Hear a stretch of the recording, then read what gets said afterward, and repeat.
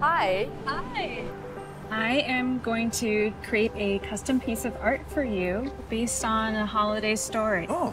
Paint me a picture of the holidays. I think about my grandmother. She passed on a lot of our holiday traditions.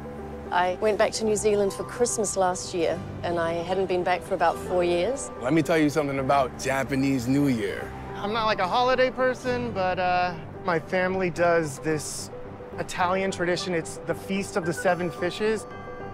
My mother's from Tokyo, and my dad's from Harlem. As a family, we all sit around and do origami together and have a beautiful meal. We'd spend, you know, the evening wrapping dumplings together. My cousins brought out my grandmother's coat, this great 60s black coat, and they gave it to me. So it was a very emotional, beautiful gesture.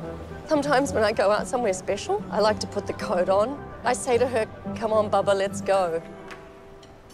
Check this out. Is that dumplings? Yeah. That's a giant dumpling. Oh my gosh.